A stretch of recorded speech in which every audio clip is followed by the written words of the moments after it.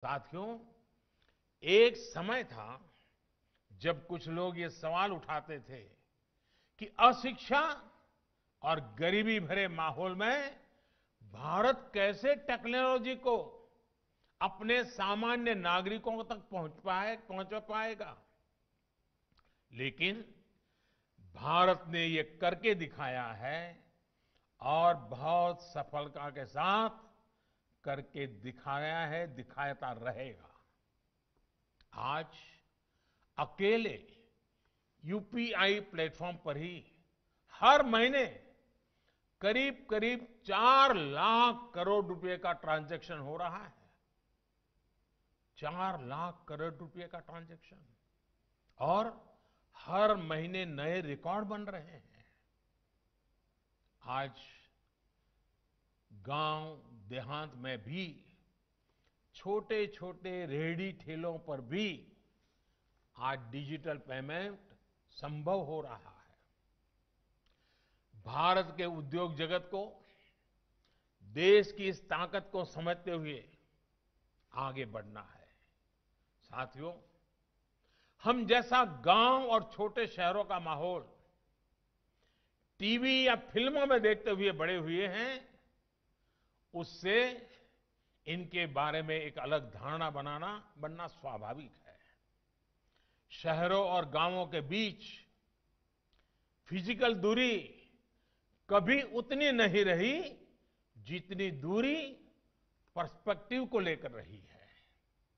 कुछ लोगों के लिए गाँव का मतलब ऐसी जगह रहा है जहाँ आना जाना मुश्किल हो जहाँ बहुत कम सुविधाएँ हो, बहुत कम विकास हुआ हो, पिछड़ापन ही पिछड़ापन पड़ा हुआ है।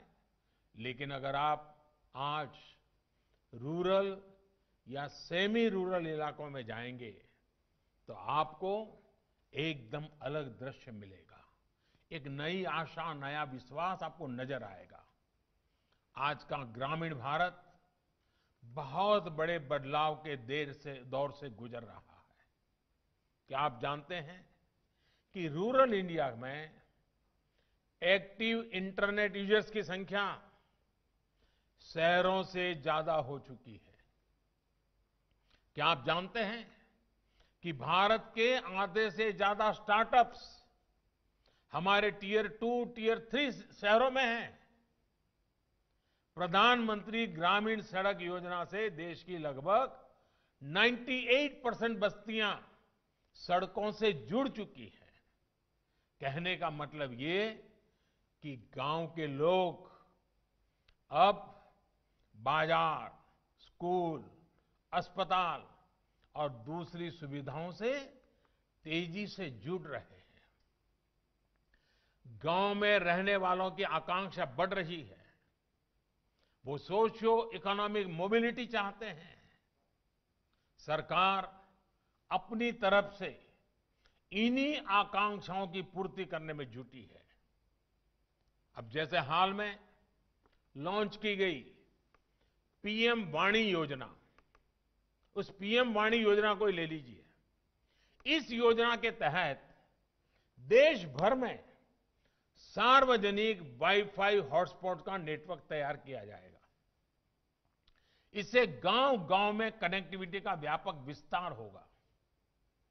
मेरा तमाम उद्यमियों से आग्रह रहेगा कि इस अवसर का उपयोग करते हुए रूरल और सेमी रूरल क्षेत्रों में बेहतर कनेक्टिविटी के प्रयासों में भागीदार बने। ये निश्चित है कि 21वीं सदी के भारत की ग्रोथ को गाँव और छोटे शहर ही सपोर्ट करने वाले हैं। इसलिए आप जैसे एंटरप्रेन्योर्स को गाँव और छोटे शहरों में इन्वेस्टमेंट का मौका बिल्कुल नहीं गंवाना चाहिए। आपके द्वारा किया गया इन्वेस्टमेंट हमारे गाँवों में रहने वाले भाई बहनों के लिए, हमारे एग्रीकल्चर सेक्टर के लिए संभावनाओं के नए द्वार खोलेगा।